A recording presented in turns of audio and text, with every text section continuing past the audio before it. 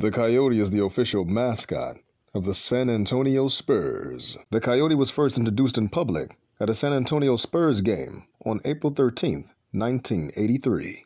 The Coyote is known for his slapstick comedy. The Coyote concept was created by Tim Derk, who also performed the role for the first 21 years, appearing in more than 1,100 games, making over 4,000 community appearances before suffering a stroke that forced him to leave the job. February 13th, 2004. The Coyote won several awards for his performances throughout the years.